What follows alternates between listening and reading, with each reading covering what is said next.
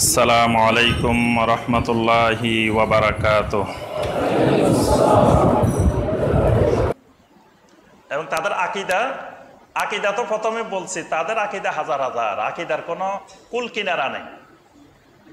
কারণ যখন কেউ কোরআন এবং সন্ন্যার সোর্স বাদ দিয়ে এর বাহিরে যায়, তখন আর কুল কিনারা নেই। যখন কোরআন এবং সন্ন্যার মধ্যে সীমাবদ্ধ থাকে, তখন এটার একটা সীমা, সীমাবদ্ধতা আছে। এর বাইরে আর যাওয়ার সুযোগ নেই। কিন্তু যখন এটার বাইরে চলে গেছে, এবার তো যা ইচ্ছা তাই বানাইতে পারে। এই জন্য প্রত্যেক সুফির নিজস্ব আকিদা আছে, নিজস্ব তরিকা আছে, নিজস্ব এবাদত আছে, নিজস্ব চিন্তা চেতনা আছে। তবে যে আকিদাগুলো একেবারে মেইন আকিদা সুফিবাদের, একবারে মৌলিক আকিদা, এইরকম আমরা বারো, পনেরোটা আকিদা আমরা সংক্ষেপে আলোচনা করব একবারে। সংক্ষেপেই পনেরোটা আকিদা, যেগুলো আহলুসন্না ওয়াল জামাতের সাথে সাংঘর্ষিক, পুরা সাংঘর্ষিক। আহলুসন্না ওয়াল জামাতের বিরোধী। এক নম্বর হলো ওয়াহাদাতুল উজুদ ওয়াহাদাতুল উজুদ। ওয়াহাদাতুল উজুদ হলো লা ফারকা বাইনাল খালেক ওয়াল মাখলুক। খালেকের মধ্যে মাখলুকের মধ্যে কোনো পার্থক্য নেই। মানে সৃষ্টিকর্তা আর সৃষ্টির মধ্যে কোনো পার্থক্য নেই। আল্লাহর বান্দার মধ্যে কোনো পার্থক্য থাকবে না। এখানে ফাল কাউন ওয়ামা ফিহে হুয়াল্লাহ, ওয়াল্লাহ হুয়াল কাউন। মানে পৃথিবীটাই আল্লাহ, আল্লাহটাই পৃথিবী। যেমন তাদের একটা প্রসিদ্ধ কিতাব, জাওয়াহিরুল মাহানি এই কিতাবের মধ্যে আসছে যে অস্তিত্বশীল যত প্রাণী আছে পৃথিবীতে সব কিছুই আল্লাহ। তারা এবং এই আকিদার কারণে প্রসিদ্ধ একটা কবিতা আছে পার্সি ভাষায়। সুফিবাদের এই দেখবেন যে সুফিরা সবসময় এই কবিতাটা বেশি বেশি বলে। ওয়াজ মাহফিলে সব জায়গায়। গুপ্তে মানসুর আনাল হককে গাছতে মাস্ত, গুপ্তে ফেরাউন আনাল হককে গাছতে পাস্ত। এই কবিতাটা দেখবেন যে সুফিরা বেশি বেশি বলে। যে গুফতে মানসুর আনাল হক হোসাইন বিন মনসুর হাল্লাজ আনাল হক বলছে, কিন্তু আনাল হক বলে আল্লাহর অলি হয়ে গেছে। আর গুফতে ফেরাউন আনাল হক গাছতে পাস ফেরাউনও আনাল হক বলছে, কিন্তু আনাল হক বলে সে কাফের হয়ে গেছে। দুইজনের আনাল হকের মধ্যে আকাশ পাতাল পার্থক্য আছে। কারণ মনসুর যে আনাল হক বলছে, সে মনসুরের ভিতরে আল্লাহ ঢুকে গেছে। আল্লাহর খালেকার মাখলুক এক হয়ে গেছে। নাউজুবিল্লাহ। এই আকিদাটা সম্পূর্ণ কুফরি আকিদা। সমস্ত ওলামাইকেরামের এই ব্যাপারে এজমা হয়ে গেছে। আপনার শাইখ নাসার আল আকল তিনি একটি কিতাব লিখেছেন আল মোজেজ ফিল আদিয়ান ওয়াল মাজাহিবিল মুআসারা। এখানে তিনি বলছেন, সমস্ত এজমাউল মুসলিমিন, সমস্ত মুসলিমের এজমা যারা ওয়াহদাতুল উজুদের আকিদায় বিশ্বাস করবে, তারা কুফরি করল। কারণ খ্রিস্টানেরা, নাসারারা ইসাইবনে মারিয়ামকে আল্লাহ বলছে। আল্লাহ বলার কারণে আল্লাহ নিজেই ফতোয়া দিয়েছেন, লাকাদ কাফারা লাকাদ কাফার আল্লাহ দিন কলু ইন্নাল্লাহ হুয়াল মাসিহ ইবনে মারিয়াম। যারা বলে আল্লাহ মাসিহ ইবনে মারিয়াম, তারা কাফের। এই ফতোয়াটা আল্লাহ দিছেন। সুতরাং যারা বলবে যে সৃষ্টির মধ্যে আল্লাহ ঢুকে যায়, আল্লাহ কোনো বান্দার মধ্যে, মানুষের মধ্যে ঢুকে যায়, এটা কুফরি। এটা আহলুসন্নাওয়াল জামাতের আকিদার সম্পূর্ণ বিপরীত। আহলুসন্নাওয়াল জামাত কখনো এই আকিদায় বিশ্বাস করতে পারে না। কিন্তু আপনি লক্ষ্য করবেন আমাদের দেশের অধিকাংশ আপনার ওলামাই কারাম, অধিকাংশ যারা বিভিন্ন তরিকায় বিশ্বাসী, তারা এই ওয়াহাদাতুল উজুদের আকিদায় বিশ্বাসী। কিন্তু মানুষের কাছে ওয়াহাদাতুল উজুদ সব এটার ব্যাখ্যা করে না, বলে না। কিন্তু যেই কারামতগুলো, যে ঘটনাগুলো বলে, সেগুলো ওয়াহাদাতুল উজুদের ঘটনা। মানে আল্লাহ ঢুকে গেছে। আমাদের দেশের একজন বলছেন কয়, আমার মুড়িদেরা যখন আরশে যায়, তখন দেখে আল্লাহ আমার সুরতে বসে দিছে নাউজুবিল্লাহ। তা আল্লাহ তার সুরতে কেন বসে দিছে মানে সে আল্লাহ আল্লাহ সে। মানে তার ভিতরে আল্লাহ ঢুকে গেছে। এটা হলো ওয়াহাদাতুল উজুদের ফর্মুলা ওয়াহজাতুল উজুদ। আর এই হোসাইন বিন মনসুর হাল্লাদ যখন আনাল হক বলছে, ওই যুগের সমস্ত ওলামাই কেরাম এজমায়ে উম্মতের ভিত্তিতে ফতোয়া দিয়েছেন যে এটা কুফরি, এটা কাফের, সে কাফের হয়ে গেছে। তৎকালীন একজন আলেমও পৃথিবীতে ছিল না, যে বলে নাই যে সে মুসলিম। দেখেন কি আশ্চর্য কারবার। সেই আমলে সব ওলামাই কেরাম যারা তাকে দেখছে বাস্তব, তারা বলতেছে কাফের। আর আজকে শত শত বছর পরে বাংলাদেশে হয়ে গেছে সে বিরাট আল্লাহর অলি মানুষ হোসাইন বিন মনসুর হাল্লাজ নাম শুনলে মনে করে যে বিরাট আল্লাহর অলি কয়, কার টিকে টুকরা টুকরা করছে? তাও সাগরের মধ্যে ফেলছে, সাগরের পানির মধ্যেও আল্লাহ আল্লাহ করতেছে, আনাল হক আনাল হক করতেছে। আচ্ছা এরপরে দ্বিতীয় যেটা, আরও মারাত্মক সেটা আল হলুল হলুল এটা হলো ওয়াহাদাতুল উজুদের থেকে আরও মারাত্মক।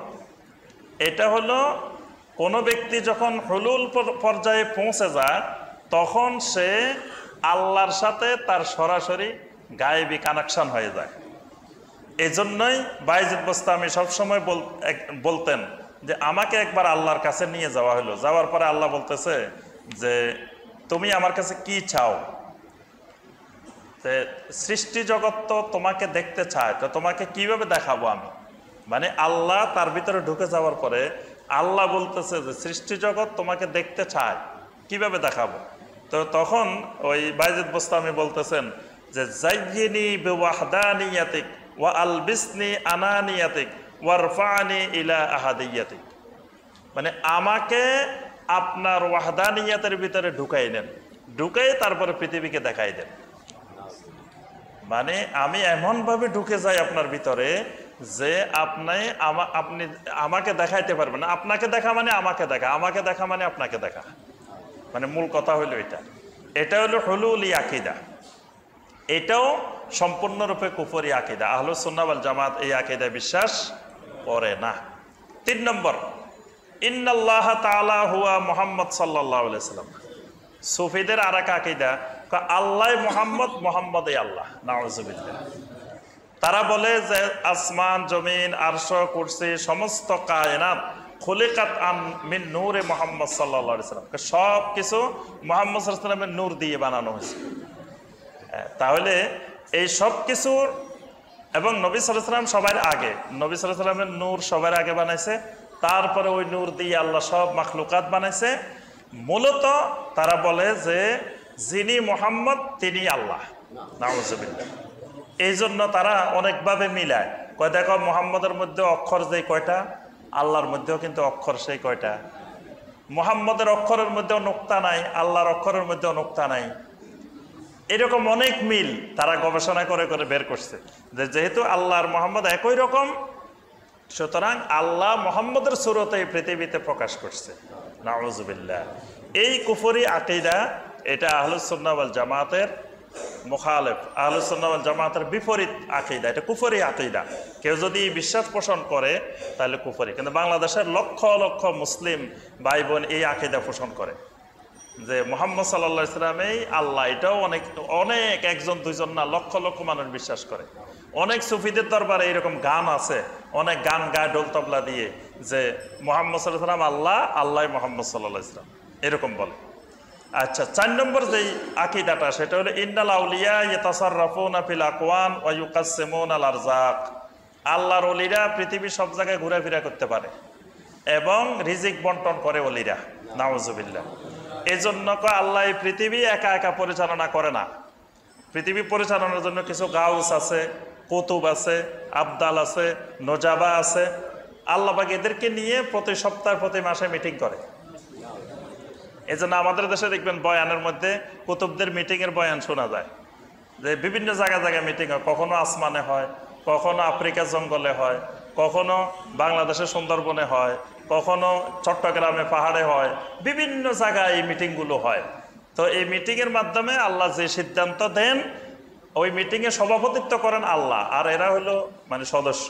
তো এদের সাথে মিটিং করা ছাড়া আল্লাহ জমিনে কিছু করে না নাওজুবিল্লাহ আর আল্লাহ এদেরকে দায়িত্ব দেয়। দায়িত্ব দেওয়ার পরে এরা কাজগুলো করে। অর্থাৎ আল্লাহর এই পৃথিবী আল্লাহ নিজে সরাসরি পরিচালনা করেন। অথচ দেখেন কাফেরেরা বিশ্বাস করত, কাফেরদেরকে প্রশ্ন করা হয়েছে ওয়ামাই ইউদাব্বিরুল আমর? কে সব কিছুর পরিচালক? কে পরিচালনা করে? কাফেরারা জবাব দিছে, আল্লাহ। কাফেরারা এই জায়গায় সেরেক করে নাই। তাদেরকে অনেকগুলো প্রশ্নে তারা কিন্তু সরাসরি জবাব দিছে আল্লাহ, সেরেক করে নাই। কিন্তু আজকে মুসলিম দাবিদার হয়ে মুসলিমেরা বিশ্বাস করে যে আল্লাহ নিজে সরাসরি এই পৃথিবী পরিচালনা করেন না। আল্লাহ এরকম গাউজ দিয়ে, কুতুব দিয়ে, আবদাল দিয়ে, আওতার দিয়ে এদেরকে দিয়ে আল্লাহ পৃথিবী পরিচালনা করেন। এজন্য আপনার বাইজেদ বস্তা আমি সবসময় বলতেন যে লেওয়াই আরফাউ মিন লেওয়াই মোহাম্মদ সাল্লা সাল্লাম। মোহাম্মদ সাল্লাহ সাল্লামের পতাকার চাইতে আমার পতাকা আরও উপরে। কারণ যে সে মানে আল্লাহর অলিরা যখন বেলায়েতের কামালিয়াতের দরজায় পৌঁছে যায়, তখন এমন পর্যায়ে পৌঁছে যায়, তারা সারা পৃথিবী ঘুরে এবং রিজিক বন্টনও তারা করে। এই জন্য তারা বলে যে কেউ ফিরে না খালি হাতে গেলে খাজার দরবারে। কারণ খাজা তো ওই আল্লাহর পক্ষ থেকে একজন নিয়োগপ্রাপ্ত এজেন্ট তাহলে সে রিজিক বন্টন করতেছে, সে অনেক কিছু বন্টন করতেছে, তার কাছে চাইলে সে দিতে পারতেছে। এই সিরকি আকিদা, কুফরি আকিদা, এটা আহলুসুন্নাওয়াল জামাতের সম্পূর্ণ বিপরীত আকিদা। চার নম্বর আকিদা, যে আল্লাহর অলিরা মারা যাওয়ার পরেও জিন্দা, তাদের পাওয়ার মারা যাওয়ার পরে আরও বেড়ে যায়। মানে জিন্দা থাকার সময় রুটা এখানে খাসার ভিতরে আটকে আছে এই জন্য এত পাওয়ারফুল হতে পারে না। যখন মারা গেছে, বাস খাসা মুক্ত হয়ে গেছে। এবার যেখানে মনে চায় সেখানে উঠতে পারে। এক মুহূর্তে আরশেও চলে যেতে পারে, এক মুহূর্তে মদিনাও চলে যেতে পারে, এক মুহূর্তে মক্কা চলে যেতে পারে যে কোনো জায়গায় সে চলে যেতে পারে। এজন্য ওই হিন্দুদের লোকনাথ, বাবা লোকনাথ বাবা লোকনাথ বলছে, তুমি জলে, স্থলে, সাগরে, যেখানে বিপদে পড়ো, সেখানে তুমি বাবা লোকনাথকে স্মরণ করবা। বাবা সেখানে সাথে সাথে হাজির হয়ে যাবে। ঠিক, আর এই সুফি মতবাদের চিন্তাধারা হলো যে, আল্লাহর অলিকে তুমি যেখানে যাবে সেখানে স্মরণ করবা। অলি সাথে সাথে হাজির হয়ে তোমাকে উদ্ধার করবে। নাউজুবিল্লাহ। এই জন্য দেখবেন অনেক কারামত শুনবেন যে, অমুক জায়গায় বিপদে পড়ছে, তারপরে সেখানে দেখবেন যে, হুজুর যাই উদ্ধার করে ফেলছে।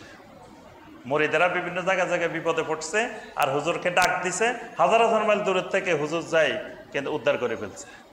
এই জন্যই মানে মারা, জীবিত অবস্থায় একজন সুফিকে তার মুরিদেরা যত বেশি মানে সম্মান করবে, মারা যাওয়ার পরে তার থেকে বেশি করতে হয়। এজন্য কবরটাকে তারা সাজান, কবরে মশারি দেন, তারপরে কবর উঁচু করেন, তারপরে কবরের উপরে ঘর বানান কবরের চতুর্পাশে তাওয়াপ করেন, কবরে সেজদা করেন, কবরে দোয়া করেন, কবরের চারিপাশে জিকির আসকার করেন। এই কবর কেন্দ্রিক যত রকমের সিরকি বিষয়গুলো, এগুলো তাদের আকিদায় সেরেক না। তাদের আকিদা হলো যে কবরে হুজুর এখন অনেক বেশি পাওয়ারফুল হয়ে গেছে, এখন এগুলো করলেই হুজুর সহজে দিতে পারে। যেটা জিন্দা থাকতে দিতে পারেন নাই। এগুলো সম্পূর্ণ শেরকি আকিদা, কুফরি আকিদা। পাঁচ, ছয় নম্বর আল খাউফু মিন সাহেবিল কবর। কবরওয়ালার ভয়। মানে আল্লাহর অলি মারা গেছে, একজন সুফি মারা গেছে, সুফির কবরটাকে ভয় করা। কারণ কে? ভয় করতে হবে কেন? দেখবে যে গাড়ি চলতেছে সব জায়গায় সমানভাবে, হঠাৎ করে কবরের সামনে গেলে গাড়ি স্লো হয়ে গেছে। কেন স্লো হইল এখান দিয়ে? ওই আল্লাহর অলি কিন্তু কবরের থেকে দেখতেছে। কবরের থেকে তাকিয়ে আছে। আর হুজুর কিন্তু খুব গরম। হুজুরের সামনে দিয়ে যদি গাড়ি চালায় যায়, তাহলে হুজুর ধাক্কা দিয়ে গাড়ি পালাইও দিতে পারে। হুজুর এই জন্য বেয়াদবি করা যাবে না। তাহলে কবরবাসীকে ভয় করা। এজন্য দেখা যায় যে কবরবাসীকে তারা সবসময় ভয় করে। মানে ওই সুফি যিনি আছেন, ওনাকে সবসময় ভয় করতে থাকেন। যে উনি যে কোনো মুহূর্তে রাগ করতে পারেন, গরম হয়ে যেতে পারেন, কিছু করতে পারেন, এইটা সম্পূর্ণরূপে সেরকি আকিদা, কুফরি আকিদা। ছয় নম্বর সাত নম্বর আজিক্রুল মুক্তাদে সুফিরা নিজেরা বিভিন্ন তরিকা জিকির বানায়, যেটা তারা নিজেদের বৈধ মনে করে। জিকির বানানো, দরুদ বানানো, বিভিন্ন এবাদত বানানোকে তারা বৈধ মনে করে। যে নিজেরা এই তরিকার জিকির এটা, ওই তরিকার জিকির এটা এই তরিকায় ইল্লাল্লাহ জোরে বলতে হবে, এই তরিকায় ইল্লাল্লাহ আসতে বলতে হবে, এই তরিকায় হু হা বলতে হবে, এই তরিকায় হু হু বলতে হবে, এই তরিকায় ধাক্কাটা এদিকে মারতে হবে, বিভিন্ন তরিকায় বিভিন্ন রকমের জিকির। এবং এই জিকির তৈরিকে তারা বৈধ মনে করে। কিন্তু আহলুসুন্নামল জামাতার আকিদা হইল কেয়ামত পর্যন্ত নবী সাল্লি সাল্লামের তরিকার বাহিরে আর কোনো তরিকা বানানোর অধিকার কারও নাই। কোনো ধরনের এবাদত জিকির আসকার থেকে শুরু করে কোনো এবাদত কারও বানানোর অধিকার নাই। আট নম্বর, একামাতুল মাওয়ালেদ। তাদের একটি গুরুত্বপূর্ণ সুফিবাদের আকিদা হইল এশকে রাসুল। মানে রাসুল সাল্লা সাল্লামের এশক প্রেম। রাসুল প্রেমটাই হলো সুফিদের দৃষ্টিতে মূল বিষয়। যে রাসুল প্রেম হলে আপনার আবাদত বন্দেগী এত জরুরি বিষয় না। রাসুল প্রেম আছে, রাসুলের সানে মিলাদ পড়বেন বাস আপনি নাজাদ পেয়ে যাবেন, জান্নাত পেয়ে যাবেন। এটা আলোচনাবল জামাতার আকিদা নয়। নবী সাল্লামকে মহব্বত করতে হবে, এটা আলোচনাবল জামাতার আকিদা। নবী সাল্লাহ সাল্লামের মহব্বত ইমানের অংশ। কিন্তু নবী সাল্লাহ সাল্লামের এশকের নামে নিজেরা বানায় বানায় কবিতা গাওয়া, গান গাওয়া, তারপরে নিজেরা বিভিন্ন রকমের আবাদত করা, এগুলো আহলুসুন্নাওয়াল জামাতের আকিদার খেলাফ। নয় নম্বর তারা আল্লাহর দিনকে হাসি ঠাট্টার বিষয়ে পরিণত করে। এই জন্য বিভিন্ন তরিকায় শ্যামা সংগীত। শ্যামা সংগীত নাম শুনছেন? শ্যামা, গুরুত্বপূর্ণ হলো আমাদের দেশের একজন প্রখ্যাত সুফি আছে। নামের আগে সুফি লাগানো আছে। তো তিনি যে রমজান মাসে ভিডিও দিচ্ছেন ভিডিওর মধ্যে বলছেন যে, আমি রমজান মাসে সারা রাত ঘুমাই না। আমি সারা রাত তারাবির পরে ঢোল তবলা নিয়ে সারা রাত শ্যামা সংগীত গান রমজান মাসে সারা রাত শ্যামা সংগীত গান শ্যামা সংগীত শুনেন আর শ্যামা সংগীত দিয়ে সারা রাত কাটান তারপরে সাহারি খায় তারপরে ঘুমান। হ্যাঁ, তাহলে এই যে শ্যামা সঙ্গীতের প্রতি তাদের আসক্তি এবং শ্যামা সঙ্গীতের জন্য ডোল তাবলা সব কিছু দিয়ে শ্যামা সংগীত গায়। কারণ কি? তাদের একজন প্রখ্যাত সুফি মুরব্বী আছে শাহরানি। শাহরানি বলতেছে যে, ওয়াকানা ইজা সামে আল কোরআন, লা তাক্তরুল্লাহু দামা আমি সারাদিন কোরআন শুনলেও আমার চোখের এক ফোঁটা পানি বাইরে না। কয়, যদি আমি চব্বিশ ঘণ্টা কোরআন শুনি, আমার এক ফোঁটা পানি আসে না। কিন্তু, ওয়াইজা সামে আশেরান কমাত কেয়ামাত হু একটা কবিতা শুনলে আমার ভিতরে কেয়ামত তৈরি হয়ে যায়। এই জন্য সুফিরা কোরআনের আয়াত দিয়ে ওয়াজ করে না, হাদিস দিয়ে ওয়াজ করে না। ওয়াজ করে কবিতা দিয়ে। এটা সুফিদের গুরুত্বপূর্ণ আকিদা। শেখ সাদি রহমতুল্লাহ ফরমাইছেন। তারপর আল্লামা ইকবাল রহমতুল্লাহ ফরমাইছেন। ফরিদুদ্দিন আত্মার রহমতুল্লাহ ফরমাইছেন। কবিতা দিয়ে বয়ান করে। আর কবিতা দিয়ে যখন বয়ান করে, তখন পাগল হয়ে যায়। দেখবেন যে যুবকেরা লাফাইতেছে, দৌড় দিতেছে। যে কোরআন, হাদিস বললে এরকম হয় না। কিন্তু কবিতা বললে এই মানে ওই দিন দেখলাম যে ইউটিউবে ভিডিওর শিরোনামে দিছে এরকম যে অমুক হুজুরের অমুক হুজুরের সঙ্গীতে শত শত যুবক পাগল। মানে হুজুরে গান গাইতেছে, কবিতা সুর টান দিছে, আর মুরিদ সব বেহস হয়ে যাচ্ছে। মানে তাহলে এই জন্য সারানি বলছে যে, কোরআন শুনলে চোখের পানি আসে না আমার। কিন্তু যখন আমি একটা কবিতা শুনি, আমার কেয়ামত হয়ে যায় আমার ভিতরে। এটা সুফিবাদের মূল থিওরি এই জন্য সুফিবাদ সবসময় কবিতার প্রতি আগ্রহী থাকে বেশি। কবিতা শোনায় বেশি। এই জন্য মসনবী ছিল এক সময় সুফিদের কাছে সবচেয়ে শ্রেষ্ঠ কিতাব এবং মস্তবিকে বলতো যে, পৃথিবীতে কোরআন হাদিস না থাকলেও যদি মস্তবি থাকে, এটাই যথেষ্ট। নাওজবিল্লা সুফিদের কাছে কোরআন হাদিসের দার্স দানা মসজিদে মসজিদে তারা এক সময় মস্তবি দিত, এক সময় এহিয়াই উলুমে দিন দিত। বর্তমানে দেখবেন যারা সুফি মতবাদে বিশ্বাসী, আধুনিক সুফি তত্ত্বে তারা মসজিদে কোরআন হাদিসের তালিম করে না। নিজেরা একটা বই তৈরি করে, সেই কিতাবের তালিম করে। কারণ কি? তাদের কাছে কোরআন এবং হাদিসের চাইতে সুফিদের তৈরি কিতাবগুলো বেশি মূল্যবান। কারণ সুফিদের তৈরি কিতাবের মধ্যে আপনার কোরআন হাদিসের নির্যাস, তাদের কথা হইল যে কোরআন হাদিসের নির্যাস এর মধ্যে চলে আসছে। এই জন্য যুগে যুগে সফিরা এটাকে অগ্রাধিকার দেয়। কিন্তু আহলুসুন্নাওয়াল জামাতের কথা হলো যে কবিতার কোনো গুরুত্ব নাই। গুরুত্ব হলো কোরআন এবং সহি হাদিসের। কবিতাকে আমরা নিতে পারব তখন, যখন কোরআনে কারিমের কোনো শব্দের অর্থ বোঝার জন্য, ব্যাখ্যা বোঝার জন্য ওই যুগের আরবি কবিরা। তাও দেখবেন আরবি কবির কবিতা কিন্তু সুফিরা বলে না। কারণ আরবের কবি যারা, আরবের কবির কবিতার মধ্যে কিন্তু সুফিবাদী ফর্মুলা নাই। সুফিবাদী ফর্মুলা আছে কোন কবিতা? ইরানি কবিতা। পার্সি কবিতা এবং উর্দু কবিতা। এই জন্য ওই সুফিরা সবসময় ফার্সি এবং উর্দু কবিতাই বলেন। আচ্ছা দশ নম্বর আকিদা যেটা, সেটা হলো সরফুন নাস আনিল কোরআন এবং হাদিস। মানুষকে সুফিরা সবসময় কোরআন এবং হাদিস থেকে বিমুখ করে। তারা বলে যে মানুষ যদি কোরআন গবেষণায়, কোরআন নিয়ে চিন্তা ভাবনায় ব্যস্ত থাকে, এটার দ্বারা আল্লাহ থেকে তাদের দৃষ্টি অন্যদিকে চলে যায়। এজন্য মানুষ কোরআন, সুন্না নিয়ে গবেষণা না করে মানুষকে চিন্তা করতে হবে ফানাফিল্লা নিয়ে। ফানাফিল্লাটা কোরআন, হাদিস চর্চার চাইতে তাদের কাছে, সুফিদের কাছে বেশি গুরুত্বপূর্ণ। সুফিদের কাছে কোরআন চর্চা করা কোরআনের তাফসির করা, এটার চাইতে বেদাতি জিকিরের গুরুত্ব বেশি। এজন্য তারা তাপসির শুনতে চায় না। সুফিরা তাফসিরকে গুরুত্ব দেয় না। তাদের কাছে তাফসির যতক্ষণ শুনবে, তার চাইতে কতক্ষণ ওই তাদের তরিকার জিকির করতে পারলে এটা বেশি মূল্যবান। তারপরে তারা বলে যে এটা হলো কোরআন হাদিস হলো জাহেরি এলেম। আর তাদের ভিতরে যেটা আছে সেটা হলো বাতেনি এলেম। তো জাহেরি এলেম এত বেশি গুরুত্ব না। জাহেরি এলেম দিয়ে কোনো কাজ হবে না। যতক্ষণ তোমার ভিতরে বাতেনি এলেম না থাকবে। এই জন্য প্রসিদ্ধ দুটা ঘটনা আছে।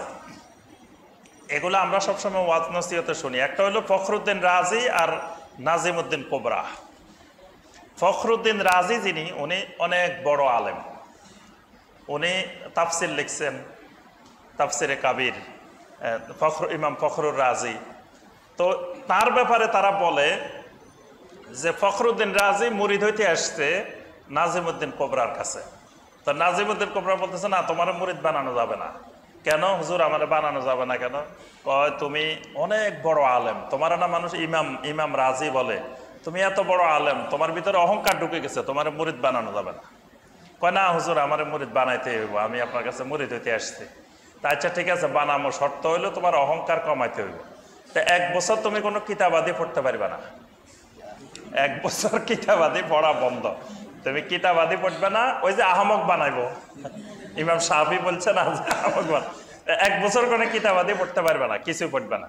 তো ইমাম ফখরুদ্দিন রাজি, এক বছর নাকি কিছু পড়ে নাই।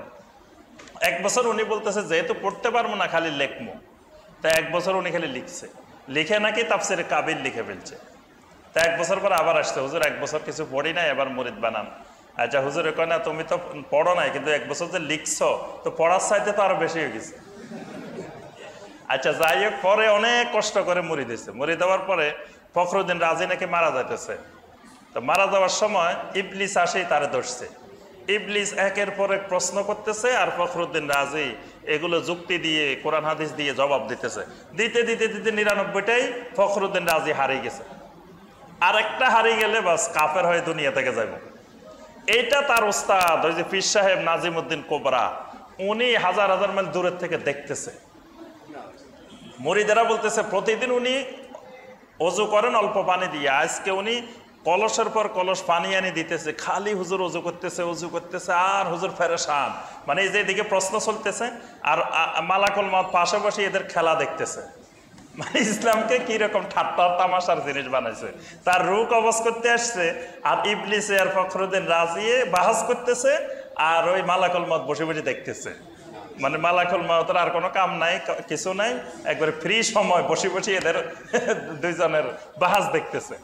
আচ্ছা হুজুরে ওখান থেকে লাস্টে যখন নিরানব্বইটা হয়ে গেছে, এই নাজিম উদ্দিন কোবরা যিনি, উনি ওখান থেকে জোরে হাতের মধ্যে একটা বদনা ছিল, এক বদনা পানি সহ মেরে দিছে।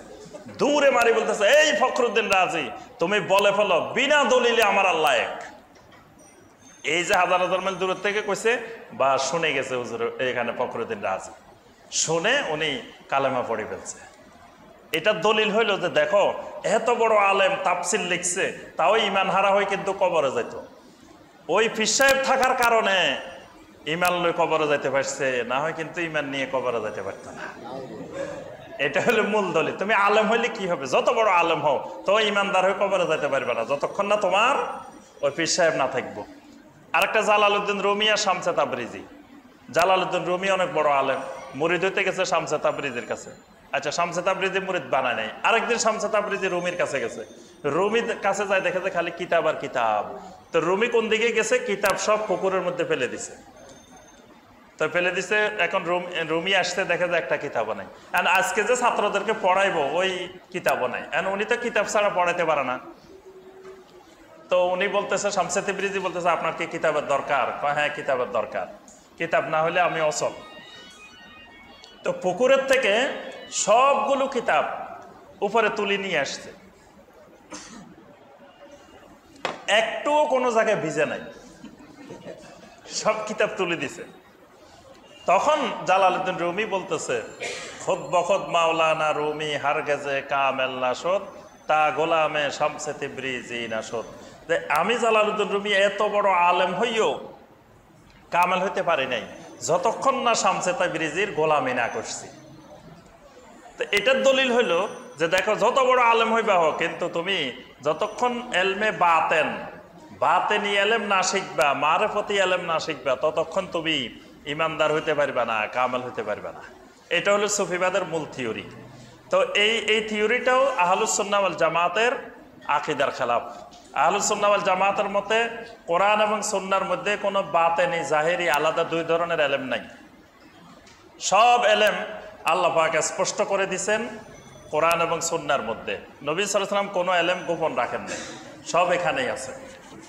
আচ্ছা এরপরে এগারো নম্বর যেটা, সেটা হলো, ফাতহু বাবে তাবিল বাতেনি লিনুসুসিল কোরআন হাদিস। সুফিরা কোরআন হাদিসের অনেক আয়াতের, হাদিসের বাতেনি ব্যাখ্যা দেয় বাতেনি ব্যাখ্যা। বলে যে এটা হলো জাহেরি ব্যাখ্যা, আর এটা হলো বাতেনি ব্যাখ্যা। এই বাতেনি ব্যাখ্যার সুযোগে অনেক বিকৃত ব্যাখ্যা, বিকৃত তাবিল কোরআন এবং সুন্নার করে যেমন, একজন ব্যাখ্যা দিচ্ছেন, কয়, ফির কোরআন হাদিসে নাই, কে বলছে? কোরআন হাদিসে আছে। কি আছে? অলি অলি আছে। কোরআন হাদিসে অলি। কোরআন হাদিসে অলি যেটা, এটারে আমরা পার্সিতে পীর বলি। তো ঠিক আছে অলি হলে তাহলে আমরা বলি যে আপনি অলি সাহেব লেখেন। পীর সাহেব লেখার দরকার কি? যেহেতু কোরআনে আছে, আপনি লেখেন যে অলি সাহেব সুরিটোলা বাস অলি সাহেব মালিটোলা লেখলেই তো হয়েছে। আপনি আর পীর সাহেব লেখার দরকার কি? কোরআনেরটাই লেখেন। কোরআনেরটা লেখার পরে আপনার কাছে প্রশ্ন যে আপনি যে অলি হয়েছেন, আপনি জানলেন কেমনে? আপনার যে আল্লাহর বন্ধু হয়েছেন, এটা তো গোপনীয় বিষয়, এটা তো গায়েবের বিষয়। আপনি গায়েবের বিষয় জানলেন কেমনে? যুগে যুগে কেউ নিজের অলি ঘোষণা দিছে কিনা? সাহাবাই কেরাম সার্টিফিকেট পাওয়া অলি, তাও তো বলে নাই যে আমি আল্লাহর অলি হয়ে গেছি। ঘোষণা দেন নাই। আচ্ছা এবার বলতেছেন যে না, কয় ফিরের আরবি হলো মুর্শেদ। আল্লাহ কোরআনে বলছেন মাইয়াহদিল্লাহু ফাহুয়াল মুহতাদ, ওয়া মাই ইউদ্লিল ফালান তাজিদালাহু ওয়ালিয়াম মুরশেদা। আল্লাহ বলছে, এখানে মুর্শিদ মুর্শিদ হইল অলি ফির সাহেব। আচ্ছা তো মুর্শিদ যদি ফির সাহেব হয় তো এই যে চোদ্দশো বছর ধরে কোরআনে কেরামের এই আয়াতের যুগে যুগে ওলামাই কেরাম এটার তাফসির লিখে গেছেন, ব্যাখ্যা করছেন। আজ পর্যন্ত কোনো একজন তাফসির কারক এখানে মুর্শিদ মানে ফির সাহেব এই ব্যাখ্যা করছে কিনা? চোদ্দশো বছরে কেউ করে নাই। তাহলে এই যে ব্যাখ্যাটা চোদ্দশো বছর পরে নতুন করে করছে, এটা হলো সুফিবাদের মূল থিওরি। মানে নিজেদের আকিদাকে প্রতিষ্ঠিত করার জন্য কোরআন এবং সুন্নার বিকৃত ব্যাখ্যা, নিজেদের মন গড়া ব্যাখ্যা, বাতেনি ব্যাখ্যা, এটা হলো বাতেনি ব্যাখ্যা। একজন কয়, রাসুল মরে নাই, রাসুল জিন্দা। তা আমি জিজ্ঞাসা করলাম, ভাই এটা দলিল কি কই পাইছেন? কয়, আল্লাহ বলছেন, ওয়ালা তাকুলু লিমাই ইউক্তালু ফি সাবিলিল্লাহি আমওয়াত, বাল যে তোমরা যারা আল্লাহ রাস্তা মারা যায়, তাদেরকে মৃত বলিও না। তারা জীবিত, কিন্তু তোমরা উপলব্ধি করতে পারো না। তো এখন এই দলিলের, এই আয়াতের সাথে নবিসের সালাম মারা যায় না এটা সম্পর্কটা কি? আয়াত বলতেছে, যারা আল্লাহ রাস্তায় মারা গেছে, তাদেরকে তোমরা মরে গেছে বলিও না। তারা শাহাদাত অর্জন করছে, তারা শহীদ হয়েছে, তারা জীবিত। তো এখানে তো নবী সাল্লাহ সাল্লাম জীবিত না মৃত কিছুই বলা হয়নি। তো এখন বলে যে, দেখেন, রাসুলের উম্মত যদি না মরে, রাসুল মরে কেমনে? রাসুলের উম্মত, আল্লাহ বলতেছে, এরা মরে নাই, এরা জীবিত। যেখানে রাসুলের উম্মত মরে নাই, রাসুল কেমনে মরে? এই জন্য রাসুল জিন্দা। মানে এইভাবে আয়াতে কারিমার এবং হাদিসের বিকৃত ব্যাখ্যা, এটা হলো তাবিলে বাতেনি। আচ্ছা বারো নম্বর যেটা, মাসদারুল মারেফা দিনিয়া এটা হলো সবচেয়ে গুরুত্বপূর্ণ, যে দিন জানার মাসদার উৎসটা কি? আহলুসুন্নাওয়াল জামাতের মতে দিন জানার উৎস হলো কোরআন এবং সুন্না। কিন্তু তাসাউফের দৃষ্টিতে দিন জানার উৎস হলো এলহাম, কাশফ, রুহানিয়াত, ফানাফিল্লা, এনজেলা ও মারাতেল কাল কাশফ। এগুলো হলো মানে সুফিবাদের দৃষ্টিতে দিন জানার মূল উৎস। আমাদের আহলুসন্নাওয়াল জামাতের আকিদা হলো দিন জানার মূল উৎস হবে কোরআন এবং সুন্না আর তাদের উৎস হলো কোরআন সুন্না দিন জানার মূল উৎস না। দিন জানার মূল উৎস হবে এলহাম, তারপরে আপনার রুহানিয়াত, তারপরে পানাপিল্লা কাশ এগুলো হলো দিন জানার বড় মাধ্যম। এই জন্য বলে যে, বাবা, বুঝবা না রে বাবা, তুমি বুঝবা না। কারণ তোমার এখনও ওই কাশফ খোলে নাই, এলহাম খোলে নাই, রুহানিয়ত খোলে নাই। তুমি বুঝবা কেমনে? তুমি তো কোরআন হাদিস নিয়ে বসে আছো। এই জন্য তোমার বুঝে আসবে না। তাহলে এখানে এই দিনের উৎস কেন্দ্রিক এখানে আকিদাগত বিভ্রান্তি। তারপরে তেরো নম্বর হলো জান্নাত জাহান্নামের ব্যাপারে সুফিদের আকিদা। সুফিদের মতে, জান্নাত পাওয়ার উদ্দেশ্যে জাহান্নাম থেকে মুক্তির জন্য এবাদত করা যাবে না। এবাদত করতে হবে আল্লাহকে পাওয়ার উদ্দেশ্যে। এই জন্য রাবেয়া বসরি এক হাতে আগুন আর এক হাতে পানি নিয়ে দৌড় দিছে। লোকেরা জিজ্ঞাসা করে, এই পাগলি, কই যাও? এক হাতে পানি, এক হাতে আগুন। কয়, এই পানি দিয়ে জাহান্নাম নিবে ফেলব, আর আগুন দিয়ে জান্নাত পড়াই ফেলব। কেন? কি হয়েছে? তুমি কাম করবা কেন? বলে যে, মানুষেরা এবাদত করে জান্নাত পাওয়ার উদ্দেশ্যে। জাহান্নাম থেকে মুক্তির উদ্দেশ্যে। আল্লাহর ভালোবাসায় আল্লাহকে পাওয়ার জন্য এবাদত করে না। এই জন্য এগুলো সব পড়ে ফেললে মানুষ আল্লাহকে পাওয়ার জন্যই করবে। এটা হলো সুফিবাদের মূল দর্শন। এই জন্য তারা বলে যে, জান্নাত ও দোজক সে মাই কেয়া করো আর জো হে মাই তুজে দেখা করো যে আল্লাহ, আমার জান্নাতও দরকার নাই, জাহান্নামেরও দরকার নাই। আমি তোমার দিদার চাই খালি, আমি তোমারে চাই মাওলা, আর কিছু চাই না তাহলে এই থিওরি আহলুসন্নাওয়াল জামাতের আকিদার খেলাফ কারণ আহলুসন্নাওয়াল জামাতের আকিদা, আল্লাহ পাক বলছেন, ওয়াসারিউ ইলা জান, ওয়াসারিউ ইলা মাগফিরাতিন মির রাব্বিকুম ওয়া জান্নাতিন আরদুহাস সামাওয়াতু ওয়াল আরদ। যে তোমরা ওই জান্নাতের দিকে দৌড়াও, যে জান্নাতের প্রস্থ আসমান জমিনের মতো। তাহলে জান্নাতের দিকে দৌড়াইতে বলছেন। তারপরে জান্নাত চাওয়ার জন্য নবী সালাম অনেক হাদিসে বলছেন যে, তোমরা জান্নাত চাইলে ফেরদাউস চাইবা, সবচেয়ে বড়টা চাইবা। জান্নাত চাইতে হবে, জান্নাতের আশা ইবাদত করতে হবে। জাহান্নাম থেকে পানা, জাহান্নাম থেকে মুক্তি চাওয়ার জন্য অসংখ্য আয়াত আল্লাহ পাক শিখিয়ে দিচ্ছেন রব্বানা শরীফ আন্না আজাব আ জাহান্নাম। আজাবে জাহান্নাম থেকে আল্লাহর কাছে পানা চাইতে হবে, জাহান্নাম থেকে মুক্তি চাইতে হবে। এটা আহলুসন্নাওয়াল জামাতের আকিদার খেলাফ। চোদ্দ নম্বর যেটা, সেটা হলো এবাদাত। এবাদাতের ব্যাপারে। সুফিদের কাছে সলাদ সিয়াম, হজ, এগুলো হলো জাহেরি আবাদত আর মূল এবাদত হলো ফানাফিল্লা ইস্তেমদাদ রুহানি। ইস্তেমদাদ রুহানি তাহাল্লুক বি আখলাকিল্লাহ। তা আল্লাহর চরিত্রে চরিত্রান্বিত হইতে হবে। তারপরে ইস্তেমদাদ রুহানি, ফানাফিল্লা, এগুলো হলো তাদের কাছে মূল এবাদত। আর এগুলো হলো সলাদ সিয়াম জাকাত এগুলো হলো জাহেরি এবাদত সর্বশেষ যেটা, সেটা হলো কারামত। কারামতের বিভ্রান্তি। সুফিদের কাছে সবচেয়ে বড় বিভ্রান্তি হলো কারামতের বিভ্রান্তি। কারণ তারা কারামতের নামে বিভিন্ন অস্বাভাবিক ঘটনা তৈরি করে, আর তৈরি করে সেটাকে তারা কারামত নামে প্রচার করে। বিশেষ করে জীবিত অবস্থায় বেশি প্রচার হয় না, মারা গেলে প্রচার হয়। কারণ মারা গেলে এটার আর আপনার সত্যায়ন করার কোনো মাধ্যম নাই। কেউ আজ জিজ্ঞাসা করতে পারবে না যে আপনার এটা ঘটছে কিনা। এই জন্য যা মারা যাওয়ার পরে সব প্রচার হয়। আরেকটা হলো, কারামত বলতে তারা অস্বাভাবিক কিছু ঘটনাকে কারামত মনে করে। কিন্তু কারামত তো অস্বাভাবিক ঘটনা না। কারামত হলো, ইমাম শাহির রহমতুল্লাহ বলছেন, কোন ব্যক্তি পানির উপরে হাঁটলে, আকাশে উঠলে, তাকে তোমরা আল্লাহর অলি বলিও না। আল্লাহর অলি হলো যে পরিপূর্ণ শূন্যতের এত্তেবা করে। সুন্নতটাই এক একটা কারামত। যার কাছে যে কয়টা সুন্নত আছে, তার কাছে সেই কয়টা কারামত আছে। তো কিন্তু তাদের মতে এগুলো কারামত না। তাদের মতে কারামত হলো কে কয়টা অস্বাভাবিক ঘটনা ঘটাইতে পারছে। চল্লিশ বছর অমুক জায়গায় রয়ে গেছে, কিছু খায়ও নাই, পানও করে নাই। তারপরে চল্লিশ বছর এশার নামাজেরও যদি ফজর পড়ছে কোনো অসুবিধা হয় নাই। তারপরে কুম্বি ইজনি বলছে, আমার হুকুমে উঠে যাও, মরা মানুষ জিন্দা করে ফেলছে। কুনি ইনসানান বলছে, মানুষ এই- মানুষ হয়ে যাও বলছে, মরা মানুষ উঠে গেছে।